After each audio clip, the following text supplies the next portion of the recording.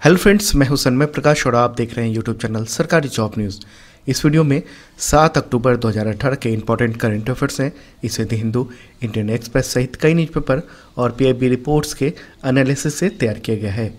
आप इसका detail notes और वन लाइनर पीडीएफ इस वीडियो के डिस्क्रिप्शन से डाउनलोड कर सकते हैं। क्वेश्चन होगा आरबीआई ने नियमों का उल्लंघन करने के मामले में करोड़ वैश्य बैंक के बाद अब किस बैंक पर पाँच करोड़ रुपए का जुर्माना लगाया है। इसका आंसर होगा फेडरल बैंक। देखिए, ये जुर्माना बड़े कर्ज लेने वालों के बारे में रिपोर्ट करने में चूक में, ग्राहकों को मुआवजा का भुगतान नहीं करने, एटीएम संबंधित शिकायतों को दूर करने में देरी और बहुत सारी खामियों की वजह से लगाया गया है। एक और बात बता दूँ कि कुछ वक्त पहले आरबीआई ने धोखाधड़ी पकड़ने और उसके बारे में रिपोर्ट करने में देरी को लेकर तीन बैंकों जैसे Union Bank of India Bank of India और बैंक ऑफ़ महाराष्ट्र पर एक एक करोड़ रुपए का जुर्माना लगाया था। अगला क्वेश्चन है, निर्वाचन आयोग ने हाल ही में किन राज्यों के लिए विधानसभा चुनाव की घोषणा की है? ये कल ही घोषणा हुई है छः अक्टूबर को। तो इसका आंसर होगा उपरोक्त सभी, जैसे छत्तीसगढ़, मध्य प्रदेश, मिजोरम, राजस्थान और तेलंगाना। ठीक है? मुख्य चुनाव आयुक्त हैं ओम प्रकाश रावत। उन्होंने प्रेस कॉन्फ्रेंस में देश के पाँच राज्यों में चुनाव की तारीखों की घोषणा कर दी है। अगले कई क्वेश्चन इसी से रिलेटेड हैं, चुनाव से रिलेटेड मध्य प्रदेश और मिजोरम में विधानसभा चुनाव, यानी मतदान कब होगा? आंसर इसका 28 नवंबर को। देखिए, यहाँ पर नोटिफिकेशन 2 नवंबर को जारी होगा। नॉमिनेशन की आखिरी तारीख 9 नवंबर है। नॉमिनेशन के लिए स्कूटनी होगी 12 नवंबर को। नॉमिनेशन वापसी की आखिरी तारीख है 14 नवंबर। और वोटिंग होगी 28 नवंबर को। नतीजे आएँगे 11 दिसंबर को। सभी राज्यों के एक साथ आएँगे नतीजे। तो मध्य प्रदेश में टोटल सीट है 230 विधानसभा की और मिजोरम में कुल सीट है 40 ठीक है? तो यहाँ राज्यों के बारे में कुछ बता दूँ कि मध्य प्रदेश की राजधानी भोपाल है। राज्यपाल आनंदी बेन पटेल हैं। मुख्यमंत्री शिवराज सिंह चौहान हैं। वो बीजेपी से जुड़े हैं। तो मध्य प्रदेश के विधानसभा का कार्यकाल कब खत्म हो रहा है? तो वो है सात जनवरी 2019 को। दूसरी ओर मिजोरम की कैपिटल है आइजॉल, राज्यपाल हैं कुमान मान राजशेखरन और मुख्यमंत्री है पुललथन हवला। वो कांग्रेस से हैं। तो यहाँ कब खत्म हो रहा है विधानसभा का कार्यकाल? तो 15 दिसंबर 2018 को। अगला क्वेश्चन है, राजस्थान और तेलंगाना में विधानसभा चुनाव यानी मतदान कब होगा? इसका आंसर है सात दिसंबर। देखिए, राजस्थान और तेलंगाना दोनों के लिए नोटिफिकेशन जारी होंगे 12 नवंबर को चुनाव आयोग के द्वारा। नॉमिनेशन की आखिरी तारीख है 19 नवंबर। नॉमिनेशन के लिए स्कूटनी होगी 20 नवंबर को। नॉमिनेशन वापसी की आखिरी तारीख है 22 नवंबर। वोटिंग होगा 7 दिसंबर को और नतीजे आएँगे यहाँ भी 11 दिसंबर को। राजस्थान में कुल सीट है 200 और तेलंगाना में 119 तो राजस्थान की जो राजधानी है वो जयपुर है। गवर्नर हैं कल्याण सिंह। मुख्यमंत्री वसुंधरा राजे हैं, वो बीजेपी से जुड़ी हैं। तो यहाँ कब खत्म हो रहा है विधानसभा का कार्यकाल? तो 20 जनवरी 2019 को। दूसरी ओर तेलंगाना की राजधानी हैदराबाद है और यहाँ के राज्यपाल हैं ई एस एल नरसिंहा, जबकि कार्यवाहक मुख्यमंत्री हैं के चंद्रशेखर राव। वो तेलंगाना राष्ट्र समिति पार्टी के चीफ भी हैं। देखिए, वहाँ पर विधानसभा भंग हो चुकी है। ठीक है, इसलिए इनको कार्यवाहक मुख्यमंत्री बनाया हुआ है राज्यपाल ने। चंद्रशेखर राव को। अगला क्वेश्चन है, छत्तीसगढ़ में विधानसभा चुनाव यानी मतदान कब होगा? तो इसका आंसर है, पहले चरण का होगा 12 नवंबर को और दूसरे चरण का 20 नवंबर को। पहले चरण में नक्सली प्रभावित इलाकों में मतदान होगा। वहाँ के लिए नोटिफिकेशन जारी होंगे 16 अक्टूबर को। नॉमिनेशन की आखिरी तारीख है 23 अक्टूबर। नॉमिनेशन की स्कूटनी होगी 24 अक्टूबर को। नॉमिनेशन वापसी की आखिरी तारीख है 26 अक्टूबर और वोटिंग होगा 12 नवंबर को। और छत्तीसगढ़ में दूसरे चरण का जो मतदान होगा, उसके लिए नोटिफिकेशन जारी होंगे 26 अक्टूबर को। नॉमिनेशन की आखिरी तारीख है 2 नवंबर। नॉमिनेशन के लिए स्कूटनी होगी 3 नवंबर को। नॉमिनेशन वापसी की आखिरी तारीख है 5 नवंबर। वोटिंग होगी 20 नवंबर को। और नतीजे आएँगे सारे राज्यों के एक साथ 11 दिसंबर को। छत्तीसगढ़ में कुल 90 सीट है, ठीक है? तो छत्तीसगढ़ की राजधानी है रायपुर। कुछ वक्त बाद छत्तीसगढ़ की जो राजधानी होगी, नई राजधानी, वो नया रायपुर हो जाएगा, जिसे अब अटल नगर के नाम से जाना जाएगा। गवर्नर हैं यहाँ की आनंदीबेन पटेल। वो यहाँ पर अतिरिक्त प्रभार पर हैं। मुख्यमंत्री हैं रमन सिंह, वो बीजेपी से हैं। तो विधानसभा का कार्यकाल छत्तीसगढ़ में कब खत्म हो रहा है? तो है पाँच जनवरी 2019 को, ठीक है? तो ये सब था चुनाव से रिलेटेड क्वेश्चंस जो बहुत इंपॉर्टेंट थे, जो मैंने आपको बताए। अगला क्वेश्चन है, वैश्विक ब्रांड परामर्श इंटर ब्रांड द्वारा जारी सर्वश्रेष्ठ 100 ग्लोबल ब्रांड्स 2018 रिपोर्ट के मुताबिक दुनिया का सर्वश्रेष्ठ ब्रांड कौन सा है? आंसर है इसका एप्पल देखिए एप्पल का जो मूल्य है वो एक ट्रिलियन डॉलर है।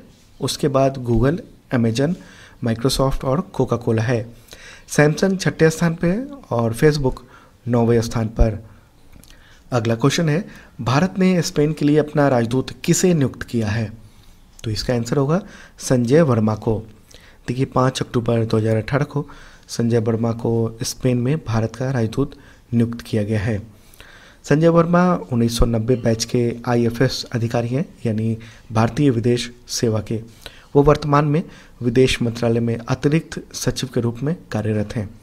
तो स्पेन के बारे में बता दूँ, वहाँ की राजधानी है मैड्रिड, मुद्रा है यूरो, आधिकारिक भाषा है स्पेनिश और प्रधानमंत्री हैं वहाँ के पेड्रो संचेज। अगला क्वेश्चन है, केंद्र सरकार ने किसे तीसरा उपराष्ट्रीय सुरक्षा सलाहकार यानी डिप्टी एनएसए नियुक्त किया है? तो इसका आंसर होगा आर एन रवि। राष्ट्रीय सुरक्षा सलाहकार, यानी नेशनल सिक्योरिटी एडवाइजर जो इस वक्त हैं, अजीत डोभाल उनकी टीम में अब तीन डिप्टी एनएसए हो गए हैं। रवि के अलावा राजेंद्र खन्ना और पंकज सरन पहले से डिप्टी एनएसए हैं। तो आर एन रवि जो हैं, वो केरल कैडर से 1976 बैच के आईपीएस अधिकारी रह चुके हैं और इस वक्त नगा उग्रवादी संगठन, National Socialist Council of Nagaland, यानी N S C N I M के साथ जारी जो वार्ता है, उसमें सरकार की तरफ़ से वार्ताकार भी हैं। तो दो जो other deputy N S A हैं, उनके बारे में भी कुछ बता दूँ। तो राजेंद्र खन्ना जो हैं, वो रॉ के पूर्व प्रमुख हैं, रिसर्च एंड एनालिसिस विंग के। और इसी साल उन्हें जनवरी में उपराष्ट्रीय सुरक्षा सलाहकार यानी डिप्टी NSA बनाया गया था। जबकि वरिष्ठ राजनयिक पंकज सड़न को इसी साल मई में उप राष्ट्रीय सुरक्षा सलाहकार यानी डिप्टी एन एस बनाया गया था। इससे पहले वो रूस में भारत के राजदूत रहे हैं। देखिए, बताया जा रहा है कि आर एन रवि जो है वो भारत की आंतरिक सुरक्षा नीतियों को देखेंगे, जबकि पंकज सरन बाहरी बिंदुओं पर ध्यान देंगे, यानी जो अदर देशों के मुद्दे हैं। इसके अलावा राजेंद्र खन्ना खास तौर से इंटेलिजेंस यानी खुफिया तंत्र को देखेंगे। तो इस तरह से अजीत डोभाल जो है सरकार में पावर सेंटर के रूप में बन गए हैं। अगला क्वेश्चन है, राष्ट्रीय डॉल्फिन दिवस कब मनाया गया? तो इसका आंसर होगा पाँच अक्टूबर। इसी से रिलेटेड अगला क्वेश्चन है जो बहुत इंपॉर्टेंट है, भारत व एशिया का पहला डॉल्फिन अनुसंधान केंद्र 28 करोड़ रुपए की लागत से कहाँ स्थापित होगा? यानी डॉल्फिन रिसर्च सेंटर इसका आंसर है पटना। देखिए बिहार में पटना विश्वविद्यालय में गंगा नदी के किनारे राष्ट्रीय डॉल्फिन अनुसंधान केंद्र की स्थापना की जाएगी। बिहार के उप मुख्यमंत्री सुशील कुमार मोदी ने राष्ट्रीय डॉल्फिन दिवस पर यानी पाँच अक्टूबर को ये ऐलान किया है। डॉल्फिन संरक्षण के प्रयासों में इस केंद्र की भूमिका जो है वो बहुत महत्वपूर्ण होगी। क्यों? क्योंकि डॉल्फिन की जनसंख्या लगातार कम होती जा रही है देश में और भारत की लगभग आधी डॉल्फिन की जो जनसंख्या है, वो बिहार में ही है। देश में डॉल्फिन की जो अनुमानित संख्या है, वो लगभग तीन हज़ार है। तो गंगटिक डॉल्फिन, यानी गंगा नदी में जो रहने वाले डॉल्फिन है, वो विश्व की ताजे पानी की जो चार डॉल्फिन प्रजातियाँ हैं, उनमें से एक है। इसका वैज्ञानिकों ने नाम दिया हुआ है प्लाटानिस्टा गंगटिक। यहाँ एक और बात बता दूँ कि गंगटिक रिवर डॉल्फिन जो है, वो भारत का राष्ट्रीय जलीय पशु है। ये बात आपको बिल्कुल ध्यान में रखना है कि गंगटिक रिवर डॉल्फिन भारत का राष्ट्रीय जलीय पशु है। ये लगभग अंधी होती है और अपने शिकार के लिए अल्ट्रासोनिक ध्वनि से ढूंढती है। वो मार्ग ढूँढने, भोजन, खतरे से बचने आदि सभी गतिविधियों के लिए अल्ट्रासोनिक ध्वनि का उपयोग करती है। गंगटिक रिवर डॉल्फिन को भारतीय वन्य जीव अधिनियम के तहत पहली अनुसूची में रखा गया है। यहाँ एक और इम्पोर्टेंट बात बता दूँ कि बिहार के भागलपुर ज़िले में विक्रमशिला गैंगटिक डॉल्फिन अभ्यारण्य स्थित है। ये देश का एकमात्र डॉल्फिन अभ्यारण्य है और गंगा नदी में करीब 50 किलोमीटर में ये फैला हुआ है। तो ये कुछ इंपॉर्टेंट बातें थी जो आपके लिए जानना ज़रूरी था और जो डॉल्फिन से रिलेटेड जो क्वेश्चंस हैं, वो इस तरह से बन सकते हैं, जो आ सकते हैं। तो बिहार की राजधानी है, पटना, आप सभी जानते हैं। राज्यपाल हैं वहाँ के लालजी टंडन। मुख्यमंत्री हैं नीतीश कुमार, वो जनता दल यू से आते हैं। अगला क्वेश्चन है, पूर्व बल्लेबाज कॉम्पटन ने क्रिकेट से सेवानिवृत्ति की घोषणा की है। वो किस देश से हैं? इसका आंसर होगा इंग्लैंड। देखिए, वो पाँच अक्टूबर 2018 को उन्होंने रिटायरमेंट की घोषणा कर दी है। वो 35 वर्ष के हैं, पूर्व बल्लेबाज कॉम्पटन। उन्होंने इंग्लैंड के लिए 16 टेस्ट खेले हैं। अगला क्वेश्चन है किस मंत्रालय को स्वच्छता ही सेवा पुरस्कारों के तहत स्वच्छता पखवाड़ा में इसके योगदान के लिए सर्वश्रेष्ठ विभाग का नाम दिया गया था? अभी 2018 में। तो आंसर होगा रेल मंत्रालय। अगला क्वेश्चन है इंटरपोल चीफ कौन है, जो हाल ही में चीन यात्रा के दौरान लापता हो गए? और अब जो खबरें आ रही हैं, उसमें कि पूछताछ के लिए उन्हें चीन द्वारा हिरासत में लिया गया है। ये कहा जा रहा है। ये कथित है, अभी कंफर्म नहीं है। तो इसका आंसर होगा मेंग होगवेई, ठीक है?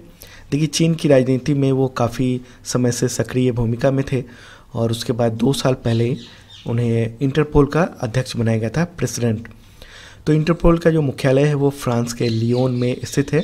इंटरपोल का जो मुख्य काम है वो विभिन्न देशों की जो पुलिस बल है, उसके सहयोग से दुनिया भर के बड़े मामलों की जाँच में मदद करना है।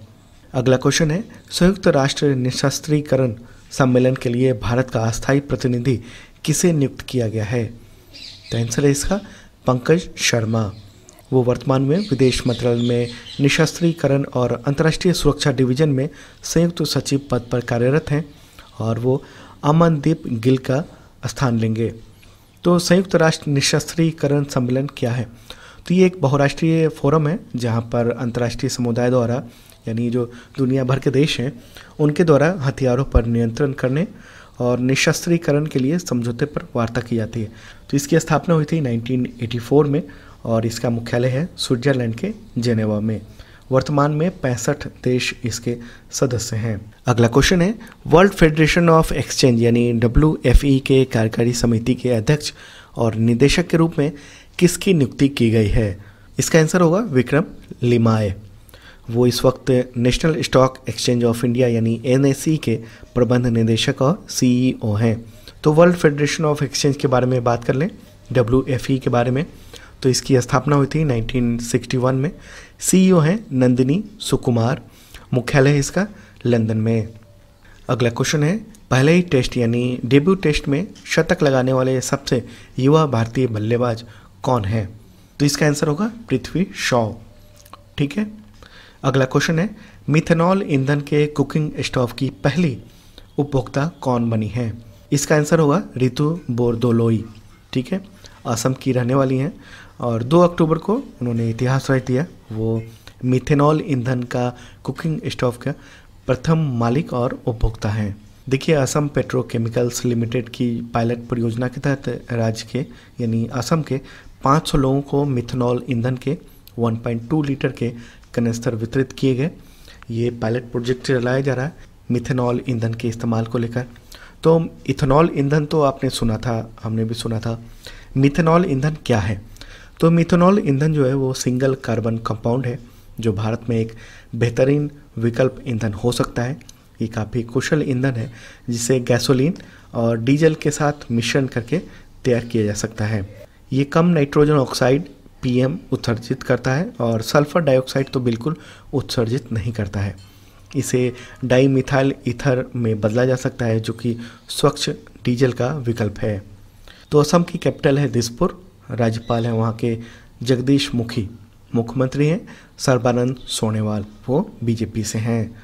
अगला क्वेश्चन है इंटरनेशनल एडवर्टाइजिंग एसोसिएशन यानी आईएए का प्रथम भारतीय अध्यक्ष कौन बना है?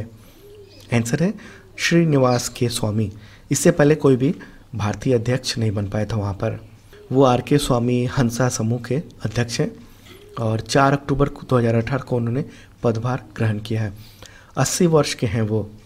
अगला क्वेश्चन है, ली म्यूंग बाग को हाल ही में 15 साल की जेल की सजा हुई है। वो किस देश के पूर्व राष्ट्रपति हैं? आंसर होगा इसका दक्षिण कोरिया। अगला क्वेश्चन है, रोमन साम्राज्य का आभूषण नाम से प्रख्यात प्राचीन शहर सबराथा को यूनेस्को ने संकटग्रस्त घोषित किया है। यह प्राचीन शहर किस देश में स्थित है? इसका आंसर होगा, लीबिया। तो दोस्तों, ये था सात अक्टूबर 2018 का इम्पोर्टेंट करेंट अफेयर्स अपने दोस्तों को ये करेंट अफेयर्स ज़रूर शेयर करें व्हाट्सएप पर फेसबुक पर।